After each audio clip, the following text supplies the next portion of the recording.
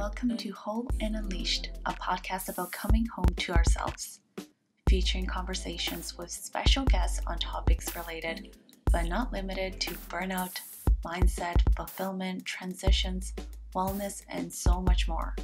I am your host, Jessica Lock, Astrala yoga guide and holistic wellness coach. And this podcast is not about telling you what to do. I believe we all have the answers we need within.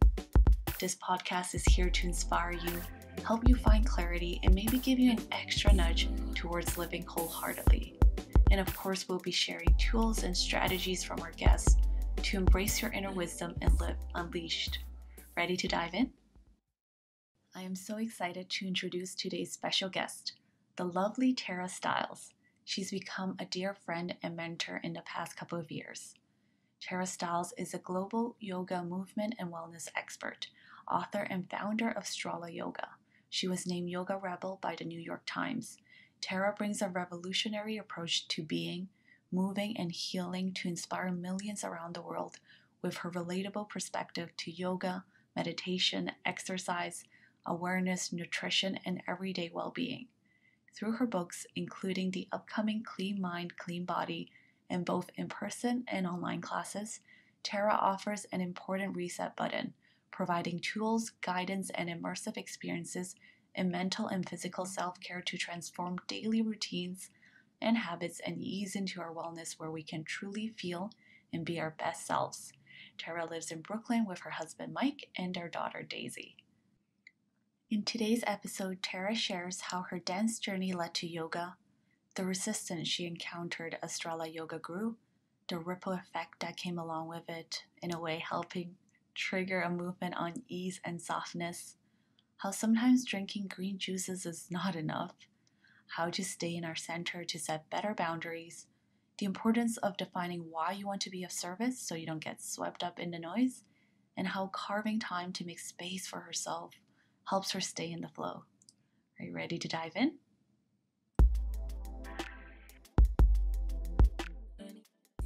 Hello, hello. Hi, how oh are gosh. you? Did it work? yes, it worked. Oh my God, thank you so much. Of course, it's so good to see you. I'm so excited to do this. Oh, like, thank you so much uh, if you've told me, if someone told me like five, eight years ago that you would interview Tara, I'm like, no, there's no way. And now you're sitting right in front of me. So thank you for being here. Of course. No, I'm like, I'm so happy to know you. I mean, since even we met at the cafe so long ago in Toronto, but yeah, just over the years, like, you know, come on. I mean, the pleasure's all mine. Just, you know you're feel like part of you know our, our family and daisy loves you and she carries around that keychain all the time still we just have to take her to peru now so she knows yeah. where that yeah. is. she has this um, blanket that my grandmother made that has the world map so i always show her where you know people oh. that we know oh. live so hopefully it'll kind of sink in one day when she can you know go again yeah, yeah. we can all go again so. Oh um, my gosh, she must be missing it too, seeing being around all the I guess all the people. She's grown up with communities with, you know, in your trainings as well. Yeah, yeah, I think so. But yeah, I don't know how much she, I mean, she remembers, but I don't know how much she thinks this is a negative thing or a positive thing. I don't know. We try to just do fun stuff and um, I mean, we talked to her about what's going on. It's not like we're, you know, I don't, nobody knows what they're doing, you know? yeah, yeah. I still don't know what's happening. yeah, yeah, but I remember like telling her about the mask in the beginning, and it's like, well, for her, it's just this thing that we do now. Like she's never not known it, so there it is, and she's accepted it. When we go out, you put it on. When you're at home, you don't need it, and and there you go. So like she has a cool one with Pikachu on it. And like oh, I want that. That's so cute yeah, but she'll be happy to see everyone. So yeah. yeah. Oh gosh. Yeah. So so grateful for this opportunity. Um, so you're from Chicago, Illinois. Would you like to tell me a little bit how was it growing up there? Some of your favorite memories? Oh gosh, well yeah, I'm from that's our nearest kind of big city, so I'm from a little bit south of there. Um, and that was the big city where we would go and sort of see things and see the world through the lens of Chicago. Um, but yeah, I remember growing up, we lived in the country, and at the time I thought it was amazing, but I also really wanted to get out and see the world. That was always such a part of my my being, I guess. I don't know, just a part of who I am. But I remember being, you know, just barefoot all the time, running around and throwing rocks and water and, and playing with sticks and things like that. And um, I got to dance growing up, which I really loved. And that was something that really took up all of my, you know, before school and after school time since age four through high school. And I loved I loved that because it gave me a chance to express myself in some way that was physical. And I think that was very, um, probably more mentally emotional, me- mentally um, good for me than, than anything else. And um, kind of kept me busy in that way.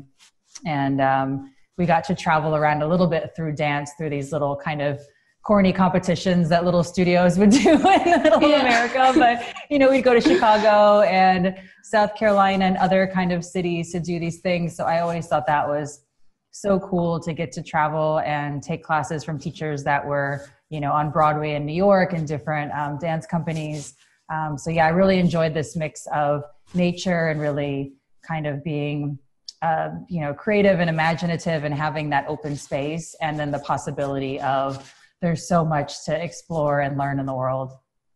Right. In a way, you've connected that part of your childhood with Strala Yoga, right? yeah, it's funny. I think about this now, well, especially this year, because there's more time to reflect and think and all of that. But, you know, growing up, I was always thinking, oh, I'm going to get far away from this and New York and kind of be in the world in that way and leave this all behind. And it really just is the same. I've more taken all of what I've learned growing up and appreciate now more than I appreciated then. And, you know, realized the practices behind that are the practices that I started learning, like yoga and then, you know, later Tai Chi with Mike and Shiatsu, and thinking, oh, this is the things that I was thinking about as a kid, but had no idea about how to get better at them or that there even was a practice to study or a way that I could relate to other people through the the the focus of this. And um, yeah so it's really all feels the same but i feel grateful to have some language i guess to and a practice to share with people. So it's sort of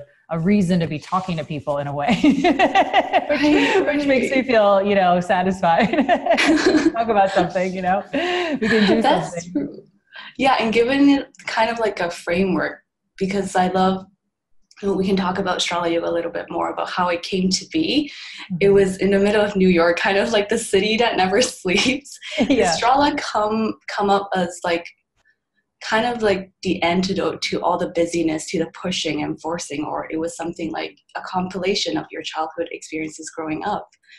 Oh, I think it was subconsciously everything I learned growing up, but more what was in the front of my mind was yoga's amazing, and I was learning yoga but also I felt like there was this busyness of yoga or stressfulness or you know even a lot of people in New York would go to their yoga and try to do it do the yoga perfectly instead of just relax at yoga. And it sort of became this you know whether the teacher is telling you to be competitive or it's coming from your own inner voice. Um, you know i was really aware of this sandwich of you're not doing it right you're not doing it right. And all of this sort of the stress of that mental and physical feeling um, being a big part of the experience of yoga. And I thought this just doesn't feel right. And um, yeah, so I started, you know, just leading classes and, and talking to people really about, um, you know, how great yoga is and how it doesn't have to be something that makes you feel like you're not good enough in a way.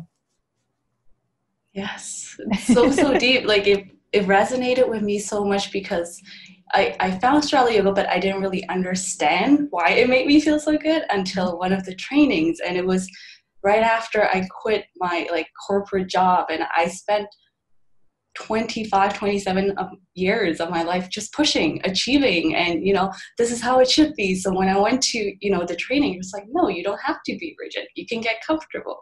What do you mean i can get comfortable? What do you mean i can allow myself to be myself when you know everybody tells you this is how it should be? And especially with the perception of yoga being these are the poses. You have to make them perfect but I think mm-hmm. you and Mike shared like you don't get enlightened or you don't you don't start levitating once you nail a pose, and that was such a huge kind of like permission to be myself. Oh. And I'm curious how your background in dancing and how Mike's background in Tai Chi, how did it fuse together to become Strala? Oh my gosh. Well, again, it was sort of this ongoing laboratory effect. And, you know, I didn't really get into the tai, Mike's Tai Chi background from a, this is what he's doing with Tai Chi, you know, really consciously, except that's what he was doing. you know, he was just always doing it. And then with, with the yoga, I felt, you know, again, I didn't, I didn't really understand even what I was doing, except that, you know, it didn't make sense to me to lead in Sanskrit just for a few reasons. One, you know, even take away the Sanskrit, just the name of the pose, say in English, like triangle pose. If I just, for me, if I was just to say triangle pose, do it and then kind of adjust and fix and say all the things that, you know, I'd heard other teachers say or done in trainings, then to me, that didn't make sense within staying in the flow or being in alignment before you get into the pose and after you get into the pose and where is the pose anyway. And, you know, dance really addresses that. You're never, stuck or forced or rigid. And if you are it doesn't work. You can't move your body that way. And you know you can take a picture of dance or you can take a picture of movement. And there's definitely you know moments that look like they're endpoints but there really never is a stop even if you're still. And the more I would talk with Mike about that, he was like, "Yeah, that's Tai Chi," you know.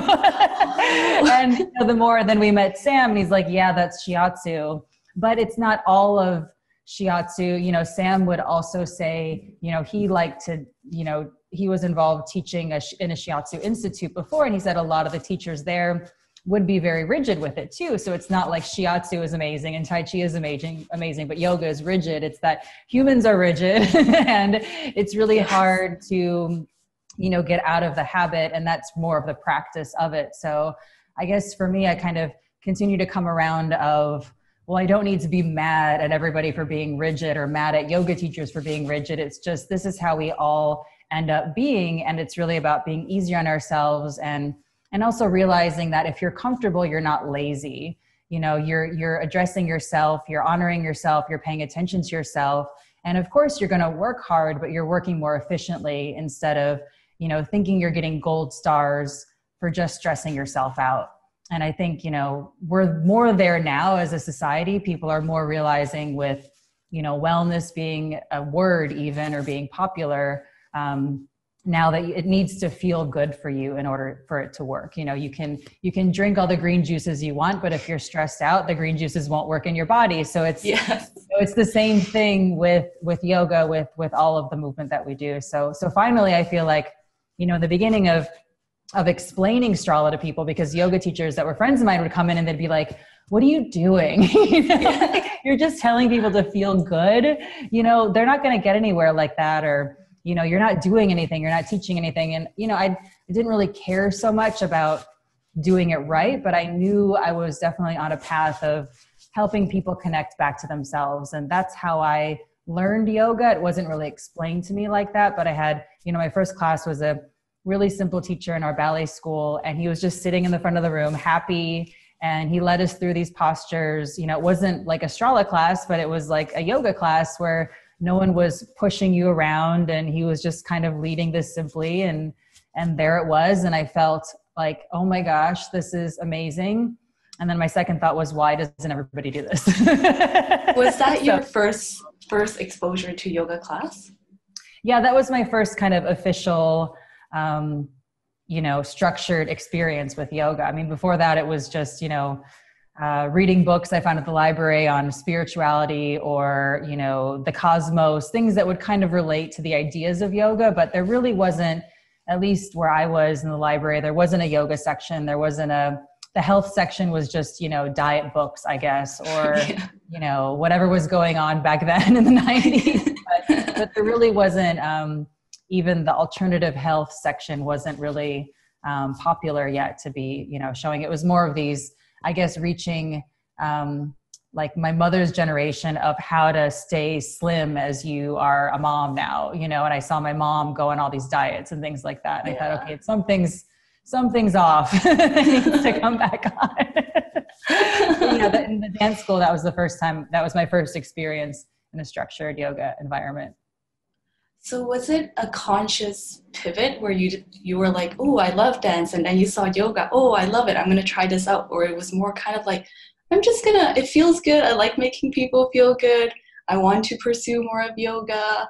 I'm curious about was there a transition or it was more like I'm going to explore all my options? Oh gosh, I mean, yeah, back then I had no idea that this guy that taught this yoga class did it as a job. I thought he yeah. was, you know, some sort of alien sent down to like teach us yoga. I thought maybe he was the mailman or something. I, you know, it would have been ridiculous to my mind to think that it was a job or it was something you could do with your career you know even as a hobby you know let alone as um, you know the main focus of, of, of what you do with your life so that really wasn't anything that i was thinking of at all just because there was no examples of that around but i knew it was something as soon as i took that class i knew oh my gosh i want this for myself for my life and i want my friends to do this and i want the people i know to do this and let's i wanted to gather people then go around with people and find the places and like yeah. find the teachers and just you know hold hands and let's all go feel better together um, so you know my ballet teacher gave me a book autobiography of a yogi and he said you know, I really, I really see you getting interested in this. Here's a book. And I'm thinking, why would somebody give me a book about this? You know? what does this mean? How can I go further? So, you know, I just read the book and there was a center on the back of the book in San Diego. So I, I went to the center. I was like 17 years old and just, you know, got a plane ticket and went there, walked around and, and it was, it wasn't like a yoga studio. There was people looking at big koi fish and things like that, and it was more of an ashram. People sweeping the floor. I guess how you would see an Eat, Pray, Love now. right. but I just thought this is so strange. What's going on? But everybody there was also calm, and it wasn't really about who they were in their lives. It was sort of this moment where people came together and you know it didn't matter if they were you know successful in the world or not everybody was equal in this in this world. And i thought this is cool. You know i want to keep finding things like this. So yeah it was never you know i never thought about it as a job. And then i you know came to new york was dancing doing a lot of different things. And because it was something i loved for myself i just kept talking to people about it that i would meet. And you know, I'd, I'd, somebody would eventually say, "Well, show me what you're talking about." You know, I have a headache, and I'd be like, "Oh, try this and try this," and they'd be, "Oh, my headache's going away." So it sort of developed as that. I mean, I was invited just by people I would meet to go and do kind of one-on-one sessions in their home before before I knew that that was what other people did. You know, I didn't know any yoga teachers really at the time doing that. So I was just kind of you know like you would you would grow up and study and learn dance then eventually you would maybe become a dance teacher um, i didn't think of myself as a yoga teacher but i was just showing the things that i knew and um, eventually I, I took a yoga class in new york and the teacher had a flyer for her yoga teacher training and i thought you can do a training for this so maybe I was just really behind, but everything was very new, especially with the yoga. There wasn't a yoga industry still yet. Um, so I did her training and then I really loved her. I loved her energy. I loved, you know, she was doing this as a job. And I thought, wow, this is really interesting. She has people that she would go and and and lead classes to in their homes and then she would teach at different studios and she had this scooter she would ride around in new york city and i thought this is kind of cool you know like really quirky and strange and i've never met anybody like this like you're a you know some sort of a twinkle character um, so I thought this was cool, but you know, I did her training and it was of this really rigid style now that doesn't exist anymore. And I thought, well, this is cool, but again, it's so stylized. Everybody has their own little way, and it seems like not the best fit for me as well. So I took some space after that training and didn't want to disrespect what they were doing, but also didn't want to participate in it either. So just took some space and then eventually just started leading classes and you know there eventually more and more workshops became available and i would just go and go to things and check things out. And meeting mike finally kind of pushed me over the edge of just okay let's start a small studio in your living room. It's bigger than my living room. And let's just have some fun as a hobby really. So you know never planned for it to be um, anything besides something we would do really at night at 7 p.m. because that's when the people we knew were getting off work. So we just had one class every day at 7 p.m. on the weekends at 11 because that's when people were rolling out of bed. yeah. started and then people started coming and you know uh, we realized then that more people wanted to come and I don't think you can plan much of anything unless people enjoy it. So you know the more people that started to like it, the more we got to keep doing it in a way. So yeah.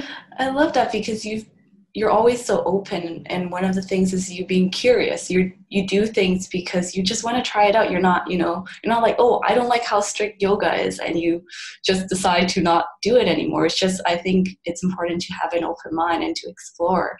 And especially i remember you mentioning how um, somebody came into your studio one day and they turned out to be a new york times reporter and oh, they coined you the yoga what rebel which is like oh mm-hmm. such a cool name from the outside but was it hard when you know some people in your industry or even your peers were like what the hell are you doing? Like how did you manage to stay in your center and you know stay with your mission? Even when people are like what you're doing is weird. Oh my gosh. Yeah i mean honestly that now that that that's a long time ago or it feels like a long time ago it was a really stressful time because momentum for our classes were building people were coming and you know the internet started becoming a place where people would go and share what they were doing not to the degree it is now but we would just say we have this class going and people would oh share it and then come and things like that. Um, so more people were coming and a lot of yoga teachers would come and be in the front row and just demonstrate all of the things that they could do. And, you know, in these kind of passive aggressive ways where I'm going to do my class just to show you that I don't like what you're doing in your class. And it just kind of felt like, why do we have to do this? you know, there's so, there's so much available. I'm not trying to harm anybody, but, but also I was speaking out um, vocally against what I saw as abuses in the yoga community that turned out now like this year last year five years ago to be actual crimes and things like that. And i you know i think i, I don't think i'm a whistleblower but I, I would definitely say that doesn't look right to me. This feeling in this environment doesn't look right to me. I don't think you should go to that guy's house. That doesn't look right to me. You know so i would say these things to you know just community members in yoga that i knew. And i was always i always felt like um, people were telling me that I didn't I didn't know enough about what they were doing or I wasn't sort of in the inner circle and that's sort of why. And you know so I just felt like well I'm going to share yoga in this way and there's already so many different styles so I'm just going to be over here doing this and anybody that wants to come is welcome. So Strala really became a place not for yoga people, but for people that either had a bad experience with yoga or people that had never tried it, that heard of it and just didn't identify with the things that they thought yoga was then. And I think it really still is. It's still kind of a, a gathering of of sort of every every kind of person. You know, we don't really have a a, a demographic where everybody looks the same. I think that's you know really what I'm most proud of is this is about feeling better and if you want to feel better you're invited and we're just going to try to make it as easy as possible for you to come and it's not just about that's a mantra or writing on the wall. The style and how we lead the classes has to match that feeling you know? Really move how it feels best for you. And and i'm really not going to control you. I'm really not going to manipulate you. And i'm really going to be truthful about that. I don't even have to say any of that. So you know like we'd never had any decorations in the studio. And that was because i didn't want to tell people what to think about. I didn't want to show people you know a buddha statue and be like you have to think about this buddha statue. Or i didn't want to show people you know a nataraj and be like you have to think about the nataraj and I love the idea of just a big, open, clean space so people can feel what they're feeling. And some people would say, you know, this is anti yoga, you're not decorating with an altar. And I say, well, it's anti if you think that's the only yoga, but I'm also just trying to be, you know, to use a religious comparison, non denominational, you know, so we can have, you know, a rabbi, a nun, and a student all walk in. and that's really kind of what it started to feel like. Um, you know, at least for me, this idea of everybody is there, and it's not just everybody's invited, but everybody, all different kinds of people want to be there. So um, that was my original experience of what yoga was. So I don't feel like I created that idea, but I didn't see that idea existing um, in, a, in a space or in a community anywhere else where I could have just jumped in and been a part of that. So I wanted to not be the head of it, but I wanted to just, you know, you know invite people to something we could do something together. So you know, it's always felt like you know a together a together project and not really about you know me creating something. It's just about this is what i've always experienced yoga and, and then mike comes along and said that's what i experienced with tai chi and sam is the same. And you know most of the people that that we meet like you are saying the same thing. It's like this is always an inner thing of I used to feel this way, but I really identify with being at ease and it makes me feel so much better. So let's find more people to help support us in this kind of way. So that's been really the the same reason then and now always feels the same to me. yeah, because you know it, it was always your intention. The how might have changed. You know now, like you said, there's so many people that are like listen to your body and all of that. And with Strala growing, that also means a lot more opportunities coming. I'm curious about how you how do you make those decisions? Because everybody wants to grow. And you know nowadays with the internet there's like this is how you grow your list. This is how you, and i mean yeah they help sure. But i think it's important to expand from your center which is something i've seen strala do. You it's not like you collaborate with anyone who reaches out to you even though it's a great financial opportunity.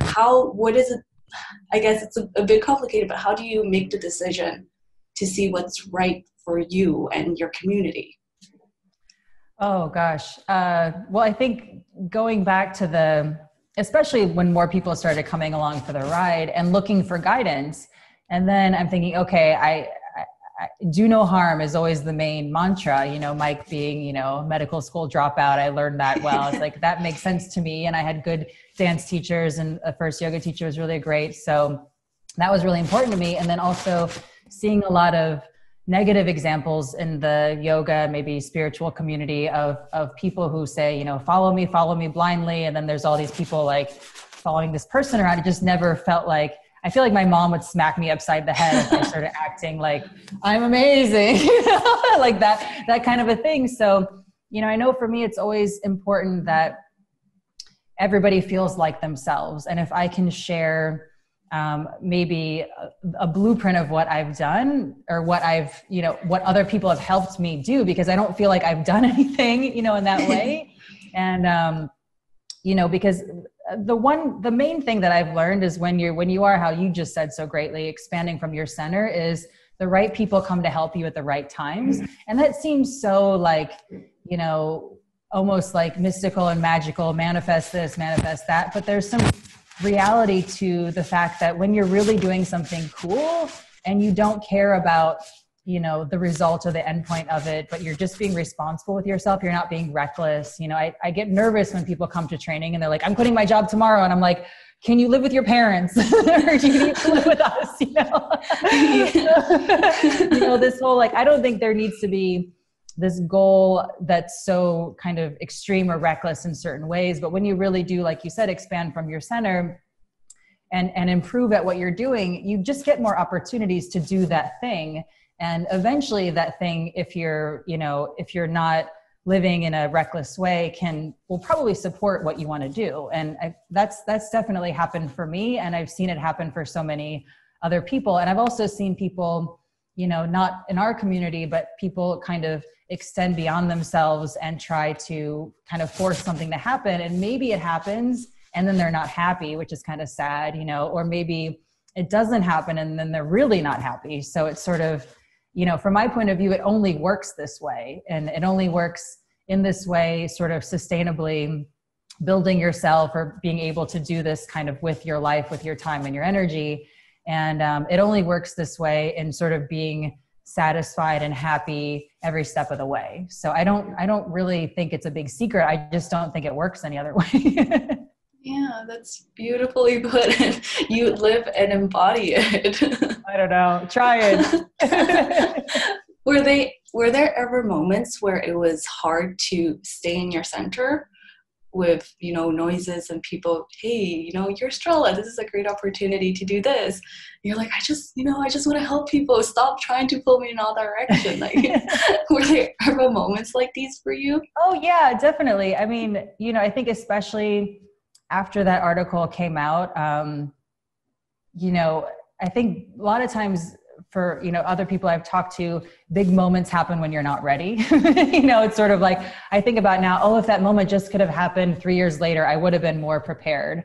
Um, so crazy things started to happen that pulled me in all directions like you know the channel 5 news crew would come in and be like filming you know somebody's 4 p.m class. And I'd, I'd come in from my class and be like what's going on? And like they'd put it online. And then like all these you know just just just so many things were happening that I wasn't even aware of, and I felt like that was kind of being swooped up in, you know, uh, you know, like a big wave in a way, and um, things started to happen that I was excited about that were taking me uh, more in a more in a, a direction able to travel and meet the people that were maybe practicing now online. So partnering with Reebok was a great opportunity to to even come in and just say I mean, there wasn't, it was just Lululemon at that time and some, some smaller indie yoga brands. So to say, you know, this is a good opportunity for all of us. And what do I have to lose? You know, I can kind of pitch my idea and say, can we make cozy clothes and can we learn about sustainability together and maybe do a little bit there? And you're this giant company, you know, so you're going to be able to send me all over the world if you want to do that. That's something I want to do. I want to go meet everybody. Um, so let's do this together. So that ended up being a positive thing, but also, you know, it started pulling me in all these different directions, literally, you know, on a plane from here to here and then to there and then back and then there. it's like, where's Tara now? yeah, there's just the physical, you know, traveling through space very quickly and doing a lot of things and, um, and just trying to keep up with different things. But then also, you know, I, I did have a lot of time within that to realize this is ridiculous. This isn't real. This isn't going to be my life forever. I need to enjoy this and also make sure that I stay in my own center so I can see the right opportunities to um, match up with people that can help us and, and expand. Um, so that brought a lot of great things like you know, meeting meeting friends in Malaysia and Singapore, and um, starting the Strala Partner Studio prog- program, which I never would have thought of on my own. You know, other instructors mm-hmm. started saying, "Hey, I want to open a Strala," and I'm like, "Really?" and they're like, "Yes, Tara." You know, like let's figure out how to do this. And I said, "Well, I don't want to do some." sort of cheesy franchise where I'm in charge and I just don't want to I don't want to be a corporation or have a bunch of people sitting at an office, you know, telling you what to do. So let's figure out a way where, you know, legally we can all do this and I can, you know, you can use the name Strala and somebody next door isn't going to take that from you. So there's, you know, some legal uh, licensing and things like that and trademarks and all these stuff that I just had to kind of figure out. Um, but, you know, things, things move fast when they're going fast. So I think for me, it's, you know, always a balance of, going with that momentum and not slowing it down but also you know being grateful for that momentum but then also not getting swept away in the the tsunami feeling of it all you know? right right. Thank you for sharing that. That's such an important yeah, tip. no no so important. I, I think i hear a little bit of your mic oh oh sorry. okay. no no that's okay. um, Thank you. Yeah, I think a lot of people can relate to wanting to get the momentum and then um, which leads to the perfect question you know as a yoga teacher as a yoga guide someone who wants to serve we you know we're helpers we're givers. How do you set boundaries? I think that's such an important conversation. A lot of people are burnt out from teaching too much yoga or just pushing themselves at their own projects because they want to make it happen I know. Yeah, especially now because everything is just so instant and so distracting in the process of creating. You think, I, I mean, I feel lucky also. I come from a different time that, that wasn't here yet. You know, it was, I was, I was able to take advantage of YouTube being at the beginning of it when people were like, oh, that's, for cat videos what are you doing yoga there for you know that kind of a thing and and not worrying so much about really anything else but um but yeah, I feel like uh, you know it's important just to to do the things that make you happy and actually share the things with real people, whether that's digital now or in person, and just trust. Not you know, I don't mean to say like trust the process, but you're never going to know where it's going. You're never going to know where you're going to be in five years. You can have goals. I mean, I think the best goal is to say, I want to be happy. I want to be doing things that make me happy. Um, and I'm going to get up every day and do this thing that I want to make happen in a way. But to say, like, you know, in six months, I want to be teaching yoga full time and have no full time job, or, you know, I want to have this many, you know, people doing my online videos or that. It just doesn't, you never, it's never going to be that at all. And I think it's, you know, just really important to always go back to the reason why you want to do the things that you do and then that will energize you to actually do it in the first place instead of doing something to be successful at it doing it because of the reason you're doing it and i think that's why for me it always feels like you know 2006 when i'm sharing videos or 2000 when i first moved to new york and i'm like hey like yoga helps you feel better you know? because yeah. that's how i feel now and that's my i guess why or my mission is always to you know share yoga and and all of these practices that i've learned in a way that helps people feel better. And that doesn't need to be everybody's mission but everybody has a reason. And the more people that i meet the more i realize there's uh, you know there's there's never the same reason. You could even say i want to help p- people feel better too but you have a different reason for doing that than i do. You know and my reason mm-hmm. is i'm from a tiny town people don't have resources like this. I you know i just i couldn't wait to get out because i didn't see myself growing and expanding there. And i didn't want to see people go through the things that i saw my friends go through. And that's that motivates me every day. I'm like oh I, I don't want somebody to feel like they're in a crappy relationship they're you know 18 years old and that's going to be their life. So when somebody messaged me on the internet about that i'm like oh my gosh it's going to be okay. So like, that's not I, that person's not going to give me a hundred dollars you know but like that's it doesn't matter you know? So i think finding your reason why you want to help people if that's your reason it's so essential and you know it it's not like you have to do a journal exercise on what's my reason, but it's just really sitting with yourself and being like, what am I doing and why am I doing it? And then it may take you completely out of the thing that you're trying to do and take you somewhere else. And that's what I mean. That's I got taken out of dance and I was like, this was my life, you know, that's what I love. And mm-hmm. the one reason, the one problem I had with dance was the only people that get to come to see dance are the people that can come to the theater. And that was my whole problem with you know growing up how i grew up. And i was like oh my gosh i'm repeating this problem i have. I want everybody to be invited. I want everybody to come to the stage.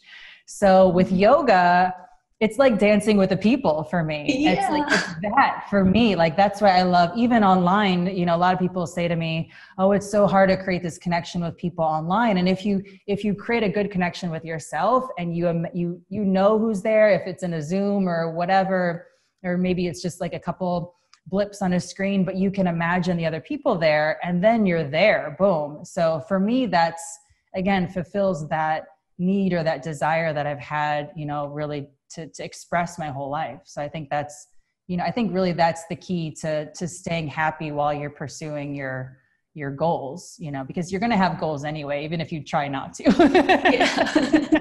you want to have that thing or you want to have that house or you want to live here, you want to have that relationship and I think that's all normal. You know, it's like part of being human. So, yeah.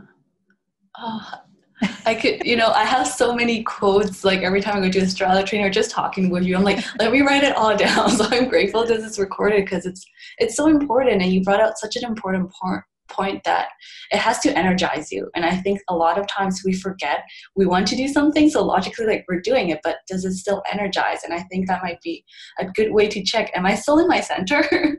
Especially when it comes to boundaries or anything else, like, oh, you know, you talk about the center a lot.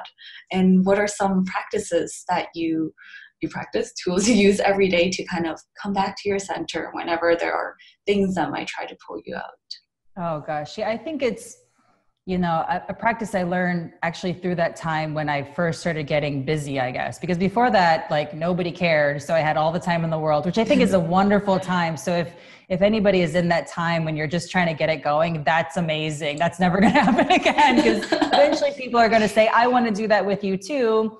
And then it'll just be different. It'll change and you'll be sort of on a different part of your path. But um you know for me it's creating actual moments with my time and with my space that make me feel like it's you know 1999 all over again so you know whether it's like you know turning off the phone for a little bit or you know i have i you know it sounds so corny but you know if i'm leading class in the morning for online I'll have Mike kick me out of bed a little bit earlier, which I hate because I hate getting up like super early. But I'm like, just kick me out of bed, and then I'll be up, and then I'll do my own just wander around. It's not even like, oh, I do my 10 minutes of yoga before yoga. It's like, I just feel like that's not always realistic for me. It's not always what I want to do. But if I can just be awake for an hour before I do the thing that I do, then I just have time to literally do nothing. So the things that need to come up for me that I need to process can come up. So whether it's wow, I really don't want to write another book again, or wow, I can't wait, wait to write another book again, or I have this idea for this project, or I really want to do this thing with everybody, or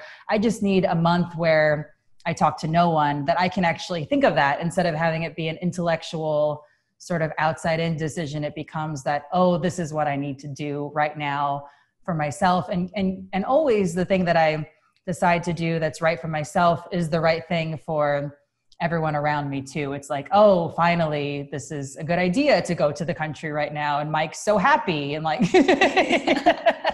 Daisy's running around. So, you know, those kinds of things that you kind of need space for the idea to come in, I think, instead of just, um, you know, thinking it through just intellectually or just goal wise. It's just that kind of do nothing time that's, um, at least for me, necessary. Mm-hmm. Mm, I love it. I love it. I wanted to share a quote that I I think it was from one of the trainings, um, and maybe you can expand on it. Sure. What you give to other people is always what you have in your own body, your own life. Words only make sense and have a real impact when they agree with who you are and what you're doing. So a good teacher isn't telling people what to do; they are embodying what to do. Oh, yeah, I mean, I learned that one the hard way, just like we all do, hopefully, because you know, people are a mirror for what you're doing all the time. And you know, I love looking at this in life and Sam's actually helped me so much with this because, you know, he just walks down the street because he works with bodies so closely with shiatsu and he thinks about it in that way specifically when you walk with him he's always like i wonder what's going on with that person's right shoulder and then i'm thinking why do you care thinking, oh, that's so interesting because if they're walking around with that shoulder, then it means that something's going on. And then why aren't they relaxed here? So it makes me think about myself and what, what the heck am I doing right now? and, you know, if I look back when I first started leading yoga, I was so excited and I would take that excitement and kind of, you know, I don't think I was hurting anybody, but I would be really forward in my energy and I'd be like, you guys. and I noticed that, you know, it it brought together people that were also kind of buzzing on that same mindset like okay let's do it let's do it let's do it. And there was no balance there. We were all just mm-hmm. excited which you know i think is great and wonderful and awesome but it really showed me i think for the first time that oh my gosh like you know it's not that i'm telling these people what to do but if i'm in a if i'm in a group that where i'm doing these things other people are going to do these things too. It's just like you do what your friends are doing. And you don't mm-hmm. even need to be in a leadership role in a group for that to happen. You know i've always you know since i realized this you know walking around outside or like seeing people in conversation kind of mirror each other with their hand gestures and see what people do. And i'm like oh this is so everywhere. So i noticed for me that was such a huge information in in in in in my own leading but also in sharing you know when i would see people try to learn how to teach yoga really well. And you're going to learn how to teach yoga really well when you're learning how to teach yoga but the main thing is being aware of your own habits and what's happening with you and also knowing that it's not like it's not bad to have bad habits we all have them and it's sort of like you have your whole life to just get rid of one bad habit so you become aware of the next one Basically. so I think once, once I was able to, you know, put a vocabulary around that and share with other people, like it's all right if your if your knees hurt, it's probably because you're arching your back, and if you're arching your back, it's you know, you're it's not a judgment of oh look at how you're walking that looks so goofy. It's like your knees hurt. Let's take care of it. you know? yeah. So that becomes a whole thing instead of like, well, I like walking around like this because I kind of am used to presenting myself in the world this way. And it's like, well, is it really working for you? You know. Yes. So it's that kind of it's that kind of self-awareness practice um, that really you know takes care of everything. Like you mentioned before burnout you know i think it's so easy to get burned out when you're leading if you're in a kind of funky body position. And it, it sounds so kind of boring mechanical or anatomy but like literally if you have this idea of who you are and you're expressing it kind of double doing your fingers or your shoulders or your facial expressions you're going to get tired and the more you can come back to yourself and just do all of the stuff of softening and wiggling, all the things that we do, the more you come back to your own center. And I think we all do these extra things because we want people to see us and see how we are and to have a good connection. We're trying to make that connection happen. But and it's a fear of well if i just do this nobody's going to see me and nobody's going to you know understand what i'm doing. But in reality the opposite is true. Once you come back and it's like everybody zooms right in whoa what are you doing? Show me show me the thing that you're talking about. And you know i've seen this you know yoga is you know sort of how we share obviously but i've seen this and just you know sitting in on lectures at schools or you know seeing people just talk out on the street with each other. It's just it's everywhere you look. And i think it's it's such a cool thing to keep in mind especially if you experience burnout because it's it's always because of this. I'm really just trying to do a good job. And unfortunately in that you know noble pursuit of trying to do the right thing we're you know we're stressing ourselves out and we're just not balanced in ourselves oh you got cut off okay, okay. i have to uh oh my gosh i have to get mike i think oh I think gosh. the camera is taking a break right now. The camera's taking a break. Let me text. I'm so sorry. It's okay. Um, it happens. It's life. Okay. yeah. Uh, um, camera. it happens. okay. Uh, I'm gonna find it. I didn't know. Gosh. Of course, we're always trying to improve our equipment around here. no, I, I. It's like the perfect way to summarize the metaphor. The camera's like, let me do it for you. oh my god, do you mind if I just run and get him real quick? Yes, please, please. Okay, I'll be right back. No worries. Thank you. Okay. Okay. I'm back. He's running upstairs to get the second battery. Thank you, Mike. I'm so sorry. Now you have to edit no. or something. Oh my oh, gosh. I might just leave it in because it's you know it, it happens. These things happen, and totally we can think about, you know, especially if we're not, I think it's important to have a compassionate lens. And I love how you talk about how, you know, it's a noble cause. You want to do great things. But yeah. then, you know, sometimes you forget about taking care of yourself, which. Yeah, we're uh, changing the camera battery. yes, thank you. Mike, yeah, I want to say hi to you before you run away, if you want to. yeah. Oh my gosh. Mike's just he's turning the camera around. I wish we had a behind the scenes on this. What's happening? Is Daisy taking a nap? I'll make you a little video just for fun. oh It'll just take a second. This is so cool. I get to see like the behind the scenes. yeah. Oh my goodness. 2020. Yes, 2020. The longest year ever. Oh my gosh. Okay, are we back? Welcome back. Yay! Yes. that was a perfect intermission. Thank you, Mike. oh my gosh, yeah. Everybody grab the popcorn.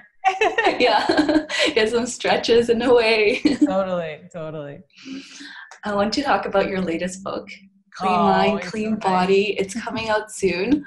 I remember you share how it felt different this time compared to other books that you've written in the past. So, two questions: What is um, Clean Mind, Clean Body about, and why was this time different?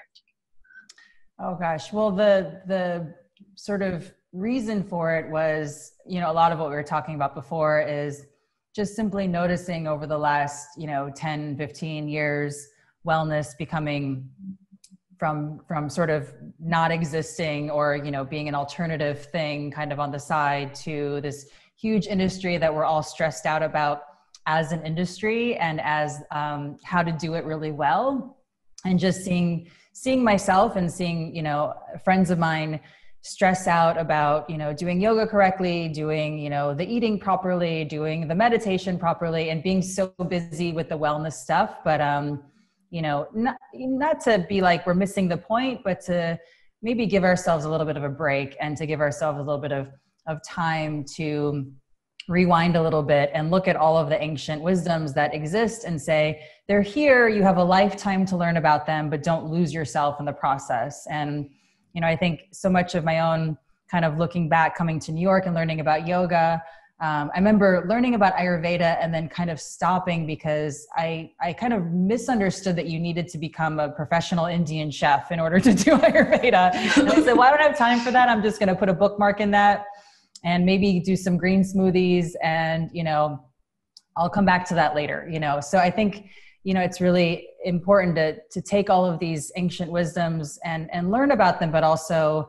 realize that you know just like yoga I've, I've realized works only when you feel like yourself. All of the other things only work when you feel like yourself.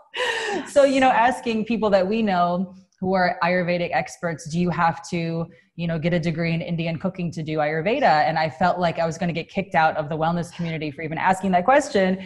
And you know every expert told me no what your whatever your grandmother and your own culture is doing whatever dishes they're preparing or maybe your great grandmother maybe you need to go back a few generations somebody who's living sort of with the arc of the day more simply you know you'll find a lot of inspiration there. And then you can take the the science from where it came from and um, and, and learn some things about the Indian culture, but you don't have to kind of culturally appropriate in order to do these things, which was why I kind of had so many um, steps back from yoga and from uh, from from a lot of these East Asian principles as a person in the world. I'm like, well, you know, my mom's gonna like look at me funny if I put a bindi on my head. Like that doesn't seem natural.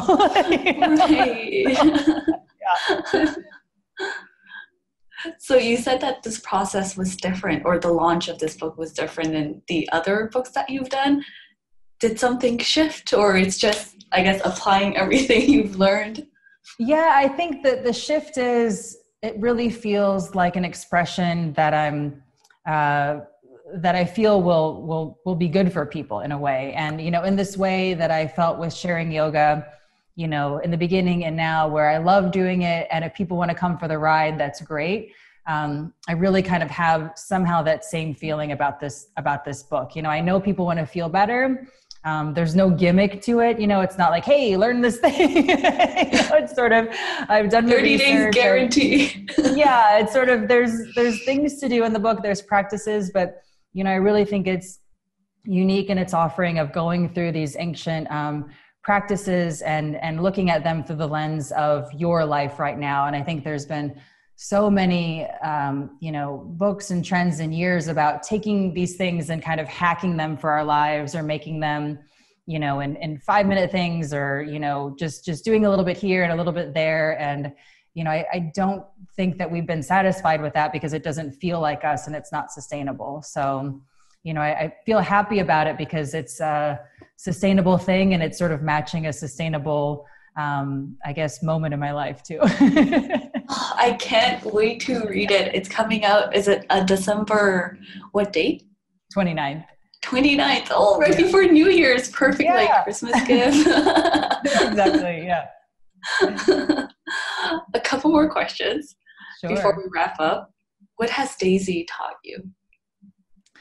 Oh my gosh. is, is, this a long one? so wild. Oh my gosh. Um, so many things. Well, you know, maybe there is some truth in that you get, you know, the people around you are the people that you need. I thought, oh, she'll be this calm, chill person. no, she has so much energy. And I knew from the moment she was born, she was always like tracking with her eyes and just always sort of really present and calling you out on whatever, you know, you're, you're doing that doesn't match up with what you're saying, you know, always asking questions. Um, you know, just just full of energy in this way. So she's really taught me you know how to conserve my own energy so i can match her in a way. I don't think that's like super unique to like other three year olds and moms experiences. But um yeah she's really taught me to to you know to be present with her and to enjoy and to you know and to not be distracted. You know i think it's such a big priority that i always remind myself of because it's so easy to slip into it of just distraction through busyness. And you know i have a certain amount of time that i have with her and a certain amount of time where mike's with her or she's sleeping that i can you know do things like talk with you or you know write books or do yoga classes. So it's sort of you know being really present with both is is has been a new thing. I used to just have all the time in the world you know to just hang out that's what i hear from every parent they're like you will have less time than you think you do right now it's a good tip to time, but it's also like I feel like the time is so much better because at least for my experience, because I, you know, I wonder what I did with all that time back then. And now I get, I don't know if I get more done with the time that I have, but I'm definitely more focused. And I think that's like a good, that's a positive thing that I can apply. I don't feel like I'm, I'm wanting more time alone in a way. So which is kind of nice. Yeah, it kind of helped me be more productive. Beautiful. Um, two more questions. Um, what is the best compliment you've ever received?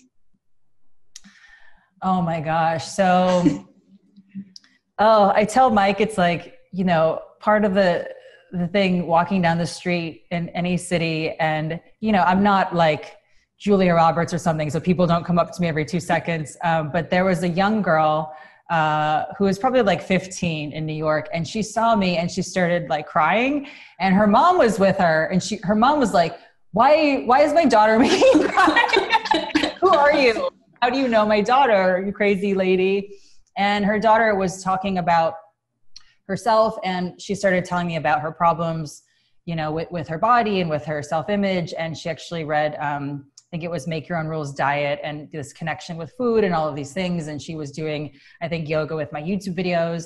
And she was kind of we were having this really intense conversation on the street with her mom there. Like what is happening? Where she was telling me that she was so happy to meet me to tell me that i helped her find herself again. And then her mom turned and that was really satisfying and really i think you know really made me feel happy that she had found herself again. And you know wasn't wasn't that i did that for her but even the way she worded it was so beautiful. And then her mother turned stopped being mad at me for a moment and turned to her and said why didn't you tell me about this? What's going on? So i think you know they had this moment together which you know reminds me of you know so many of our growing up we don't share the, the our hardest things with the people that care about us the most. So that was something that made me so happy that I saw them walking away and having this conversation. I'm like, oh my gosh, this is so cool. You know, I feel like whenever people do know who I am out there in the world, there there's always a story about them and not about me, which I think is so beautiful. So I love, you know, if somebody comes up to me, I'm like, I can't wait, I can't wait, I can't wait, tell me. and just like you know, sometimes they're like, Can you take a picture of me and my friend? And I'm like, Oh you don't know who I am. Oh. really cool. that was totally me when we first met. I walked up to you, I was like, oh my gosh, I'm so nervous. I see her sitting across from me. Her workshop is tomorrow, but should I say hi now?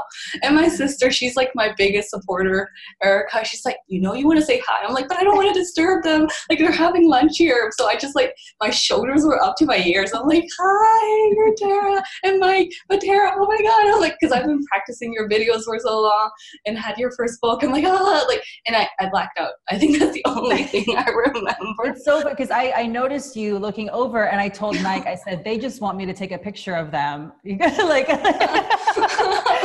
like he's like, they don't they don't know you. They want you to, yeah, they just want you to take a picture of them having lunch at this cafe. And so we were like having a moment about you guys too. Oh no, you saw I was so excited too. that I was gonna get to know you at the workshop and everything. So yeah. So grateful for that. Happy to know you too.